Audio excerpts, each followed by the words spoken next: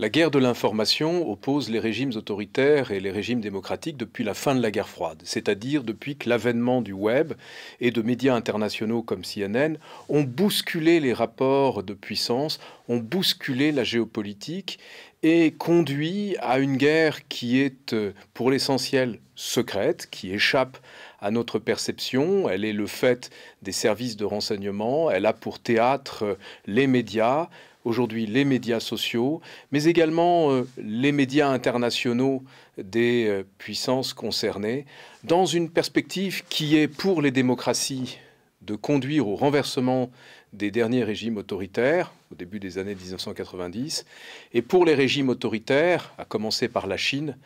euh, l'objectif est de ne pas sombrer et de remporter une victoire décisive face aux démocraties. Les États-Unis sont sortis grands vainqueurs de la guerre froide et convaincus non seulement de leur puissance économique et militaire, mais également de leur puissance informationnelle qui s'est manifestée par exemple pendant la guerre du Golfe, où les États-Unis ont dominé le champ informationnel, notamment sur le champ de bataille, et également euh, dans l'espace mondial de l'information en faisant prévaloir leur point de vue. Et cette domination informationnelle des États-Unis a ensuite été confortée par le développement de médias internationaux, par le développement d'une euh, influence que l'on appelle le soft power. Et cela a conduit les États-Unis à la conviction que l'extension du champ informationnel et de la libre circulation des informations conduirait nécessairement à l'effondrement des régimes autoritaires. Cela a conduit aussi les États-Unis, il faut le dire, à ouvrir quelques boîtes de Pandore. L'une d'elles est le recours massif à la manipulation de l'opinion mondiale à l'occasion de l'entrée en guerre contre l'Irak en 2003. Une autre est le recours à la cyberguerre pour mener des actions dans le monde réel contre l'Iran en 2010.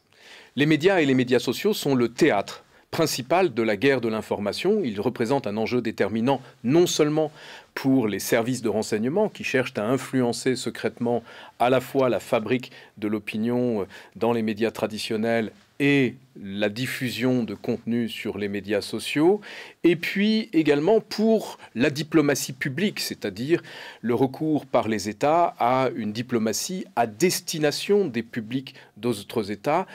et aussi le recours à la désinformation parfois pour perturber l'espace informationnel de l'adversaire. Enfin,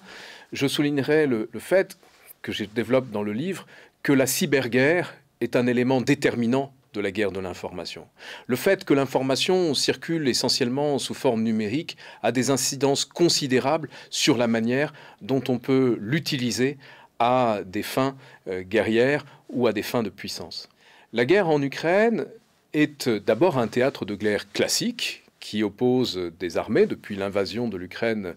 par la Russie, mais aussi un théâtre de guerre informationnelle. Et on constate depuis pratiquement euh, un an maintenant qu'il y a une relative stabilité du front militaire. Il y a en revanche une grande fluidité du front informationnel, étant donné que la Russie s'efforce de remporter sur le front informationnel des batailles qu'elle ne parvient pas à remporter sur le théâtre de guerre classique.